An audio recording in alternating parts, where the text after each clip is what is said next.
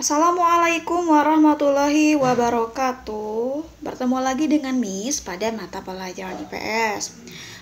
Pada pertemuan kali ini kita akan membahas tentang redistribusi pendapatan nasional. Adapun tujuan pembelajaran pada pertemuan kali ini adalah menjelaskan pengertian pendapatan nasional, rasio Gini, dan redistribusi pendapatan nasional. Kemudian, menjelaskan apa saja sih program redistribusi untuk pemerataan distribusi pendapatan di Indonesia.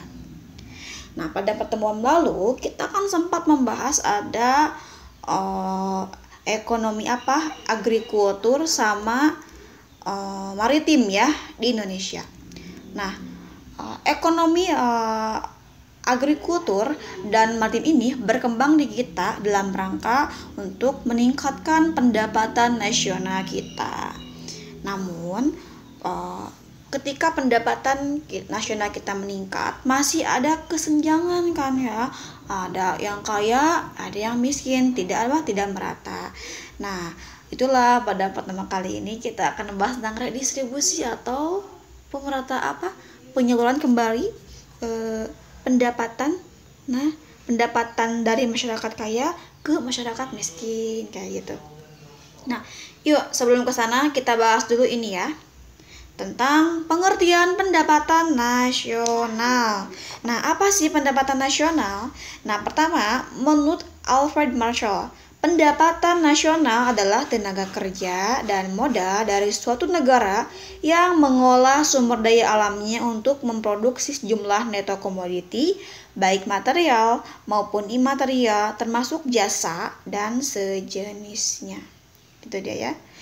Kemudian ada istilah lain dari pendapatan nasional. Kita kenal dengan istilah PDB atau produk domestik bruto. Apa sih? Nah, PDB ini diartikan sebagai total nilai barang dan jasa akhir yang dihasilkan oleh suatu perekonomian dalam periode tertentu yang dihitung berdasarkan nilai pasar. Nah, makin tinggi PDB suatu negara, maka makin baik tuh perekonomian negara tersebut. Nah, tapi kita akan lihat nih indikator ekonomi untuk mengukur tingkat kemakmuran suatu negara itu menggunakan pendapatan per kapita secara berkala. Biasanya sih secara per tahun. Nah, pendapatan per kapita ini dihitungnya e, berdasarkan PDB ya atau pendapatan nasional tadi PDB dibagi jumlah penduduk. Penduduk. Ini dia uh, per kapita ya. Yang namanya uh, pendapatan per, kapita atau indikator ekonomi untuk mengukur uh, apakah negara itu makmur atau uh, enggak. Berarti kalau kayak gini mis kalau percuma dong negaranya luas misalkan. Pendapatannya ada tapi uh, negaranya luas dan penduduknya banyak. Itu berarti uh, pendapatan apa sih? Uh, per kapitanya apa? Rendah ya tapi meskipun ada negara kecil tapi uh, apa ya penduduknya kecil ya itu berarti bisa dikategorikan sebagai negara maju nah kita akan bahas nih Bank Dunia ini nih Bank Dunia mengelompokkan negara negara di dunia berdasarkan pendapatan per kapitanya. Kita akan lihat Indonesia masuk ke mana nih. Nah, pertama ada low income economies. Nah, negara-negara ini berpendapatan ada pendapatan per kapitanya adalah kurang dari 1045 dolar. Yang kedua nih ada lower lower middle income economies atau kelompok negara yang berpendapatan menengah ke bawah. Biasanya pendapatannya adalah uh, antara 1046 dolar sampai uh, 4125 dolar.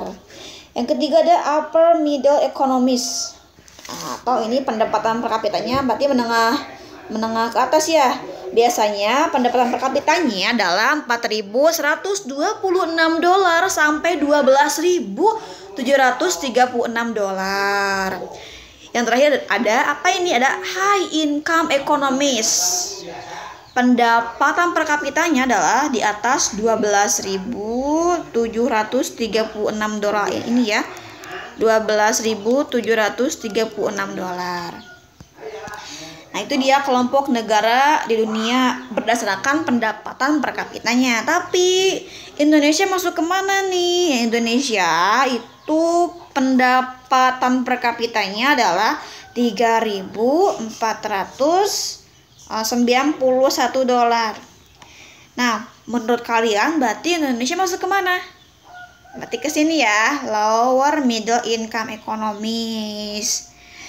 Uh, tapi ini peringkat itu akan berubah nih teman-teman sesuai dengan perkembangan keberhasilan ekonomi suatu negara.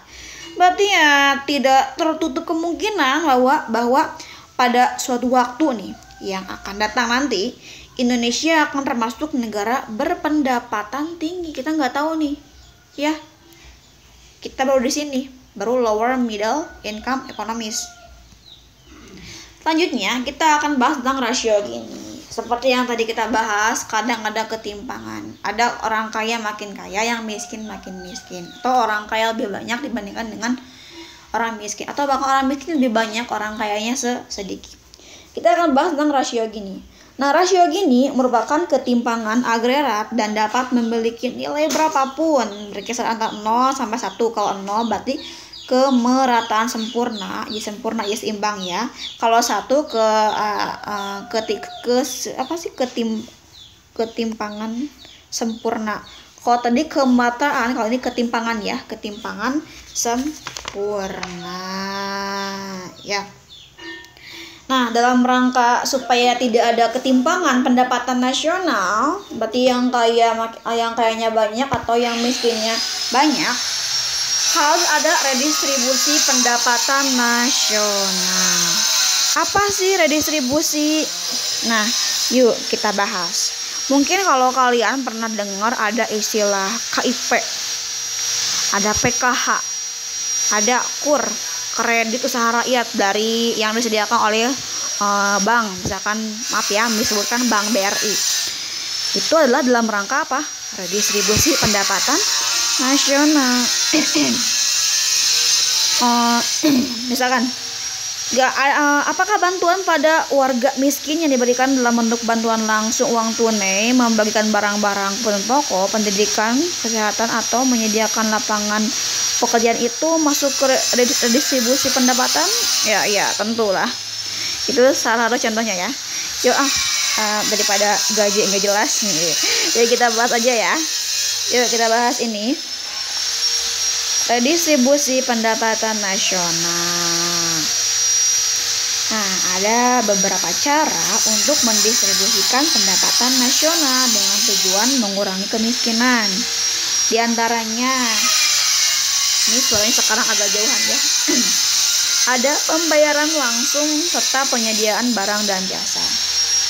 Contohnya kayak apa? Contohnya ada raskin. Nih raskin. Ada apa lagi? Ada PKH.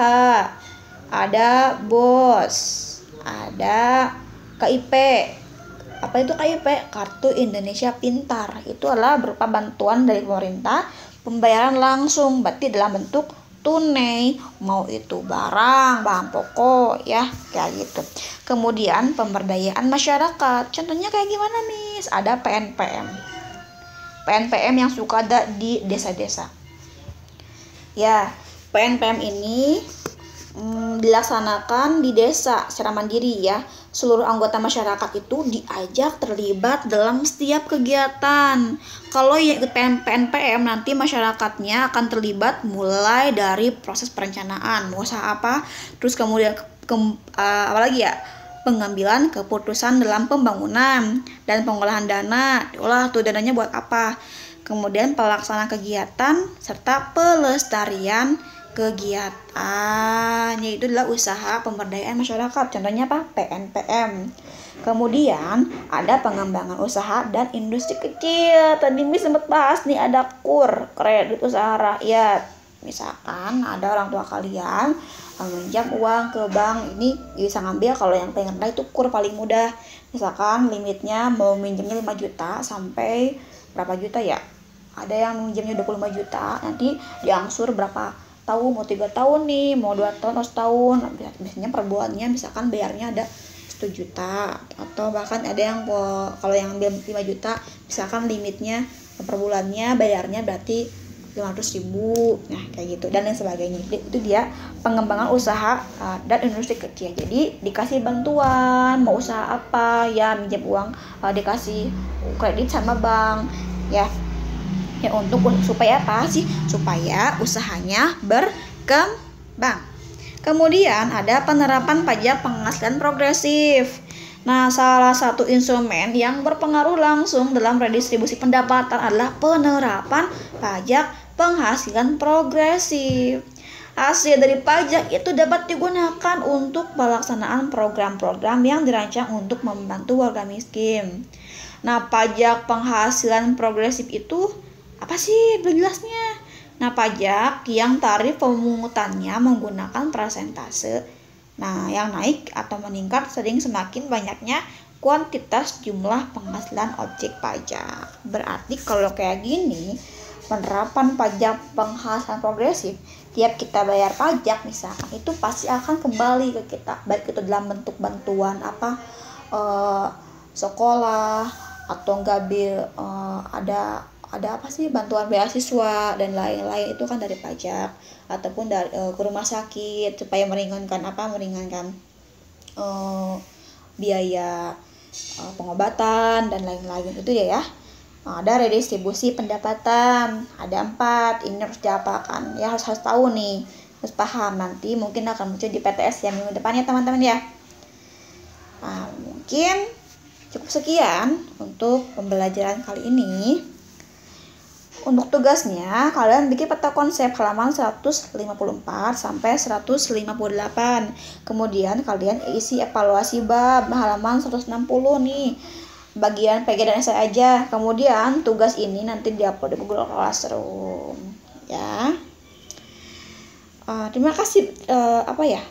Uh, Miss ucapkan sekali lagi ya, terima kasih untuk yang udah nonton uh, jangan lupa nih minggu depan PTS dari sekarang kalian eh, buka-buka lagi lihat-lihat lagi di buku paket ataupun di peta konsep yang telah kalian bikin. Apalagi di soal-soal evaluasi barangkali sebagian soal akan muncul di sana. Ya yuk kita akhiri dengan bacaan hamdalah alhamdulillahirobbilalamin ya Assalamualaikum warahmatullahi wabarakatuh.